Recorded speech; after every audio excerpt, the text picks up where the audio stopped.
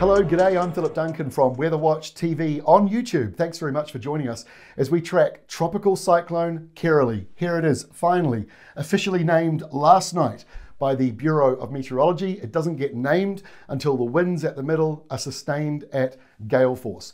Um, and that's what has now happened. So the satellite map here shows some big blobs of very heavy rain as the storm is now uh, just offshore. So spinning here, category two expected to be uh, later on today. It's category one at the moment, category two later on, and makes landfall either a category two or a strong cat one. So to some degree, that's good news. It is not at the high end of the cyclone scale, but it is still a tropical cyclone. Even a category one, the reason why it has a category one is because they are damaging. So the damaging winds are in this area here.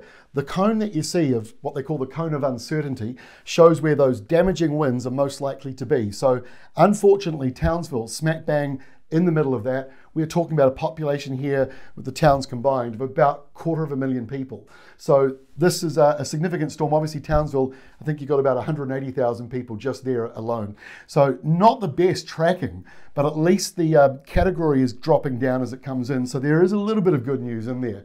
So uh, this is the tracking from the Bureau of Meteorology, comes in as a tropical cyclone, then falls apart, drifts all the way off um, to the Northern Territories. Here's the wind map for later on today. This is 4 p.m. Eastern Time. The area with the damaging winds in the pink purple area here. So potentially just south of Townsville towards Ayr. So it's in that zone right there that you'll be seeing the worst of those winds. Usually they are in the southern quadrant of these storms. So this is 10 o'clock in the morning before those damaging winds come in that I just showed you. So this uh, out at sea. So this is basically as you're watching this video now, if you're watching it in the morning, that's where it's situated. And so the worst of the wind and rain still offshore. Let's animate that for the next 24 hours. This is coming in towards later today and then coming into this evening. We think landfall will be sometime later tonight. Could move around a few hours, but this is around about 10 p.m. going in now to about midnight. So late tonight, early hours of tomorrow morning at the latest.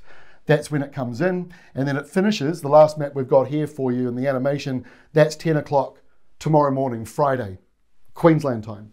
So it's an uh, overnight storm and it is moving through at quite a good pace.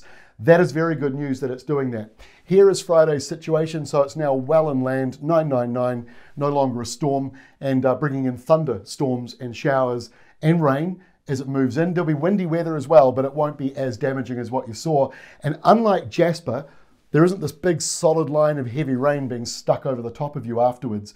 So rainfall wise, at this stage, 150 to, to maybe 200 millimeters right there in the Townsville area.